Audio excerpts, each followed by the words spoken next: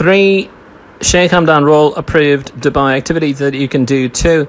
Naturally, His Highness Sheikh Mohammed bin Rashid Al Maktoum, Vice President of the UAE and ruler of Dubai, and His Highness Sheikh Hamdan bin Mohammed bin Rashid Al Maktoum, Crown Prince of Dubai, are known to be spotted enjoying everything the city has to offer. Dubai Safari Park welcomed Sheikh Hamdan and a group of his friends and family in January. As the group toured Dubai Safari Park, they could be seen feeding the giraffes, pausing for selfies, and snapping photographs of rhinos from the comfort of a very plush bus.